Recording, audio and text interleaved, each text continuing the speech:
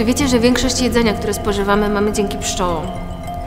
Bez ich ciężkiej pracy przy zapylaniu nie byłoby większości owoców, warzyw, gruszek. Niestety pszczoły mają problem. Chemikalia stosowane w rolnictwie powodują ich wymieranie. Problem pszczół to nasz problem. Przychylmy pszczołom nieba. Zapraszam na www.greenpeace.pl